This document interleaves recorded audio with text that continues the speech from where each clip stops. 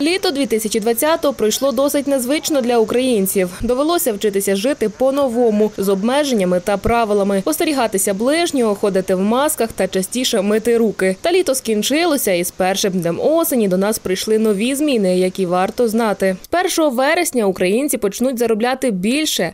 Напередодні уряд ухвалив рішення, згідно якого мінімальна зарплата в Україні збільшиться майже на 6%. Відтак зарплата наших працюючих громадян зросте до 5 тисяч гривень. До цього ж мінімалка становила 4 тисячі 723 гривні. Збільшення зарплати буде відбуватися в декілька етапів. За словами президента України Володимира Зеленського, з початку 2021 року мінімалка зросте до 6 тисяч гривень, а впродовж 2021 року до 6 тисяч 500 гривень. Зі змінами заробітної плати змінюється і рівень єдиного соціального внеску. Відтак, максимальна сума ЄСВ, яку необхідно буде сплатити самозайнятим особам, становитиме 16 тисяч 500 гривень, мінімальна 1100 гривень. Тим до кінця карантину фізичні особи-підприємці мають сплачувати податки відповідно до розміру мінімальної зарплати. Відповідні зміни в мінімалці потягнуть за собою і незначне підвищення пенсій. Відтак, мінімальний розмір пенсії для пенсіонерів, які мають повний страховий стаж, зросте до 2000 гривень. Таким чином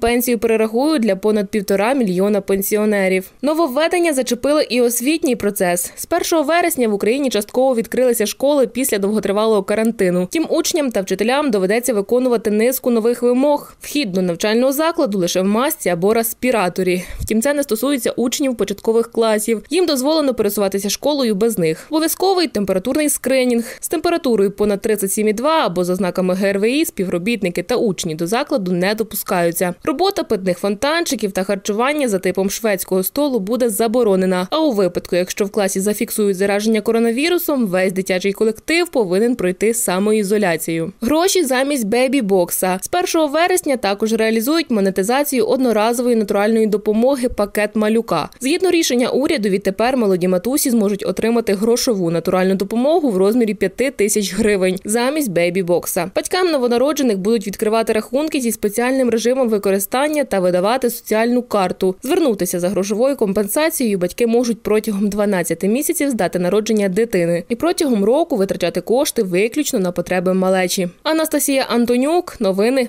Правда, тут.